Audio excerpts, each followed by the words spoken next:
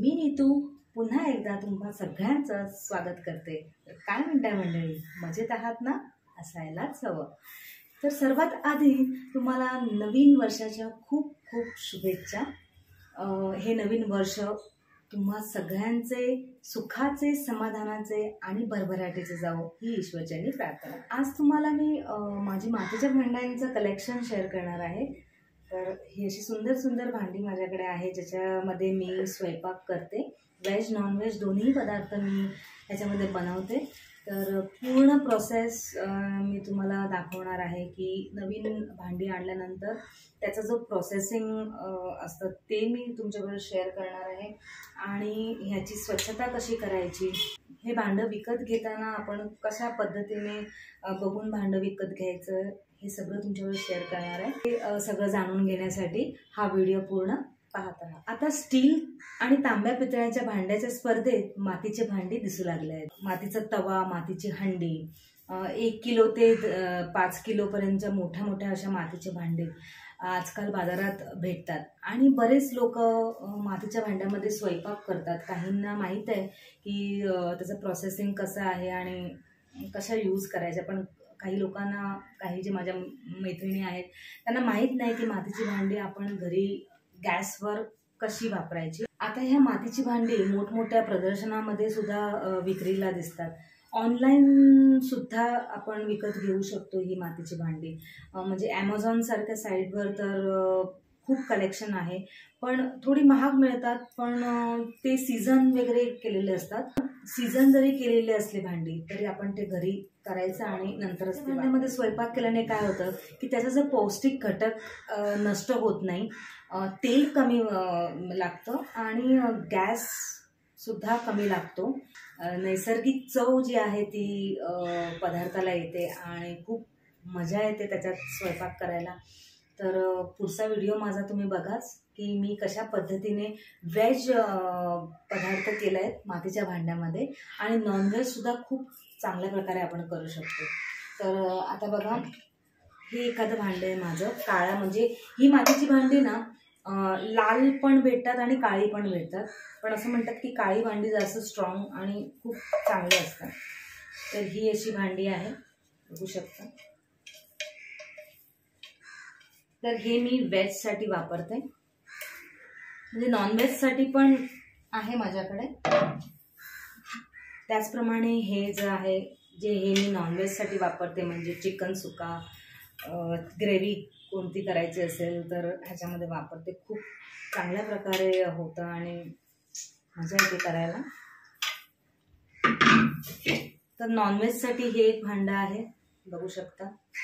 हे काळं झालं आहे बऱ्याच वेळा वापरलंय हे भांडं. बघू शकता. त्याचप्रमाणे हे मी एक घेतलंय. त्याला लीड पण आहे हे बघा.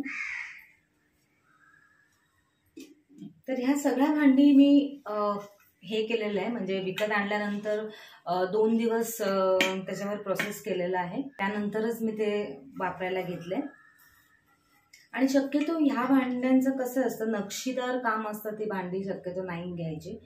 प्लेन जी असतात तीच आपण वापरायची. म्हणजे हे मी आता बिर्याणीसाठी घेतलंय.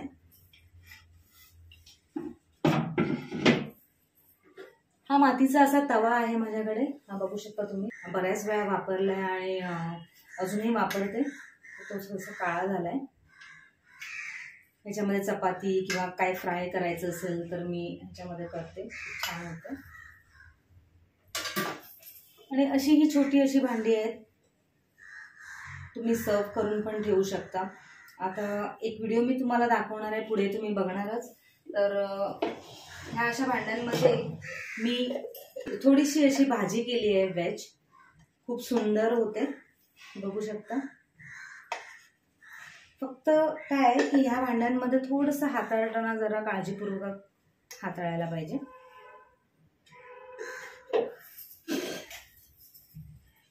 तर असं एक आहे. त्याच्यामध्ये वरण वगैरे आपण करू शकतो. तर हे मी वेजसाठी ठेवले आहेत काही जी भांडी आहेत ती व्हेजसाठी आहेत आणि फक्त दोन तीन भांडी आहेत ते नॉनव्हेजसाठी वापरते. अजून मला बरेच कलेक्शन करायचं आहे म्हणजे मला घ्यायचे आहेत अजून विकत घ्यायचे आहेत भांडी. पुढच्या ह्याच्यामध्ये तुम्हाला कळणारच की मी ह्या मातीच्या भांडीचा प्रोसेसिंग कसा आहे आणि काय स्वयंपाक केला आहे हे तुम्ही बघून घ्या. तरी बघू शकता तुम्ही आज मी मेथीची भाजी केली आहे याच्यामध्ये. खूप छान अशी मेथीची भाजी. आणि हा असा चण्याचा रस केला आहे म्हणजेच आमटी केली आहे त्या पदार्थांना वेगळाच नैसर्गिक चव येते. आणि खरंच खूप छान होतं तुम्ही नक्की ट्राय करून बघा. काही कठीण नाही आहे फक्त थोडीशी काळजी घ्यावी लागते या मातीच्या भांड्यांसाठी. त्याची स्वच्छता नीट झाली पाहिजे. आणि व्यवस्थित जर आपण काळजीपूर्वक ह्या भांडी वापरल्या तर खूप छान आहे. मजा येते. स्वयंपाक करायला सुद्धा मजा येते. आणि पदार्थ खूप चांगलाही होतो. तर पुढे तुम्ही बघाच. तर मातीची भांडी विकत आणताना काय विचार करायचा? मातीची भांडी घेताना त्याचा तळ म्हणजे जो बूड आहे तो बघावा. तो असा जाड हवा नाहीतर उष्णतेने भांडे तडकू शकते. त्यात उष्टे अडकून राहू शकते. नक्षीदार भांडी शक्यतो टाळायची. तर ती हाताळायची कशी? मातीची भांडी आणल्यानंतर ती किमान चोवीस तास आपल्याला पाण्यामध्ये बुडवून ठेवायचे. म्हणजे रात्री आपण काय करायचं? बालदीमध्ये पूर्ण पाणी भरायचं आणि हे त्याच्यामध्ये बुडवून ठेवायचं चोवीस तास. दुसऱ्या दिवशी सकाळी आपण ती काढायची व्यवस्थित पुसून घ्यायची आणि थोडी उन्हामध्ये वाळवून घ्यायचं. वाळवून घेतल्यानंतर त्याच्यामध्ये थोडंसं तेल टाकायचं आहे चोळून घ्यायचं आहे आणि पूर्ण पाणी भरून गॅसवर ठेवायचं आहे आणि गॅसवर उकळी आणायला द्यायची.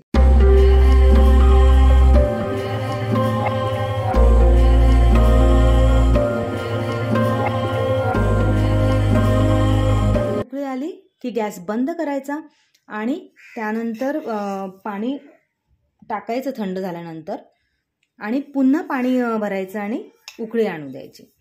असं सलग दोन वेळा आपण पाणी भरून त्याच्यामध्ये पाणी उकळून घ्यायचं आहे आणि जेव्हा जेव्हा तुम्ही हे भांडं वापरता तेव्हा तेलाचा हात थोडासा लावायचा. म्हणजे एक चमचा तेल घालून ते पूर्ण चोळून घ्यायचं आहे व्यवस्थित सगळीकडे.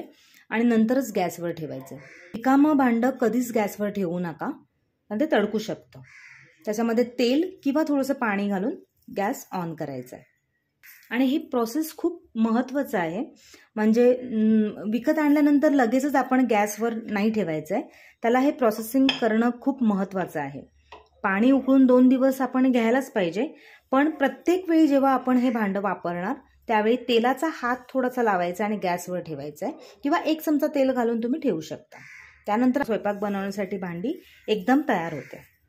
आता ह्या मातीच्या भांड्यात आपण काय करू शकतो? म्हणजे फक्त व्हेज करायचं की नॉनव्हेज करायचं? तर अशा ह्या मातीच्या भांड्यात आपण दोन्ही पदार्थ म्हणजे व्हेज नॉनव्हेज दोन्ही आपण व्यवस्थित छान पद्धतीने करू शकतो. फक्त त्याला व्यवस्थित हाताळायला पाहिजे. गॅसवरून जेव्हा आपण हे भांडं खाली उतरवतो तेव्हा आपल्याला काय करायचं की असा एखादा नॅपकिन घ्यायचा आहे आणि त्याला अशी पीळ द्यायची. असं पीळ देऊन हे दोन्ही बाजूनी असं पकडून अलगदपणे खाली ठेवायचं आहे. तर ह्या मातीची भांडी जर आपण व्यवस्थित हाताळली तर खूप दिवस आपण चांगल्या पद्धतीने हे वापरू शकतो. फक्त ह्याला चांगला असा पिळ द्यायचा आणि हे असं हँडल करून खाली ठेवायचं. तुम्हाला नुसतं जर खाली ठेवायचं नसेल तर काय करायचं आहे ही अशी एक बशी घ्यायची प्लेट घ्यायची स्टीलची पण प्लेट वापरू शकता किंवा ही बशी वापरू शकता. तर त्याच्यावर तुम्ही असं ठेवू शकता. म्हणजे ती सेफ आहे. खालून तुम्हाला काही प्रॉब्लेम होणार नाही. किंवा अशा प्रकारे स्टँड असेल तर स्टँडवरही तुम्ही ठेवू शकता. हे बघा. हे अशा पद्धतीने ठेवू शकता.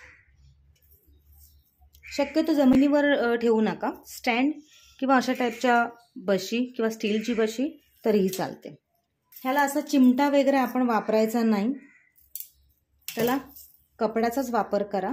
आणि व्यवस्थित असं धरून खाली ठेवायचं आहे ह्या मातीच्या भांड्यांची स्वच्छता कशी करायची?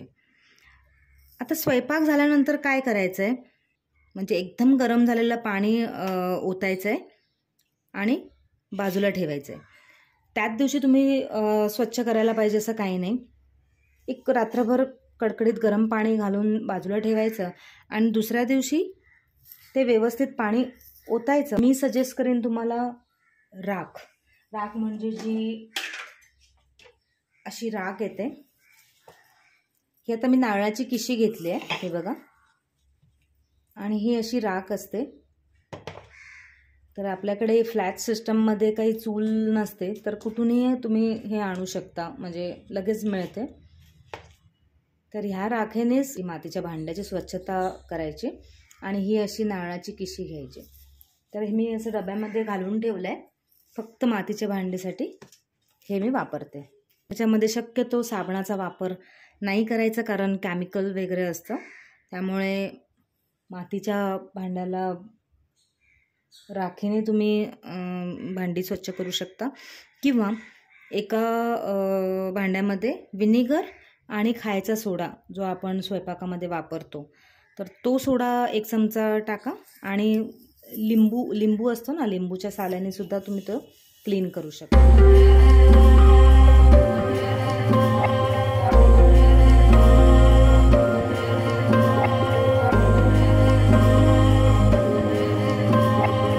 असं केल्याने काय होतं की तेलाचा तवंग असेल तर तो निघून जातो आणि अन्न कणसुद्धा निघून जातं. म्हणजे काही राहत नाही एकदम स्वच्छ आणि वास पण येत नाही. तर गरम पाणी घालून ठेवायचं आणि ह्या मातीच्या भांड्याची स्वच्छता करायची.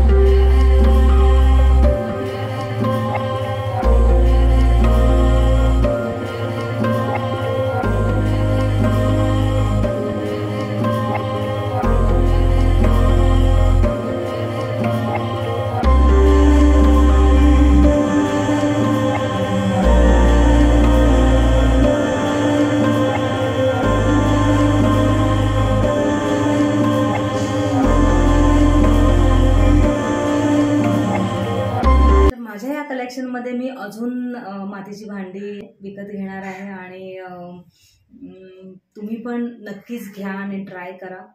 कारण जेवण तर अप्रतिम होतं आणि खरंच तुम्हाला नक्कीच आवडेल. तर चला हा व्हिडिओ मी इथेच एंड करते. होप तुम्हाला हा व्हिडिओ थोडासा तरी उपयोगी पडला असेल तर लाईक नक्की करा. भेटूया अशाच एका नव्या व्हिडिओसोबत तोपर्यंत स्वस्त राहा मस्त राहा. काळजी घ्या. Bye bye